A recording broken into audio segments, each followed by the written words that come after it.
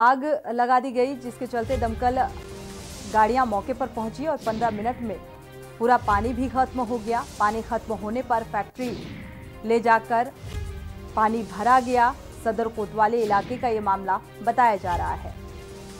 दरअसल पराली में आग लगी, जिसको बुझाने के लिए ये दमकल की गाड़ियाँ पहुँची हुई थी और आग बुझने से पहले ही पानी खत्म हो गया। महज 15 मिनट के बाद।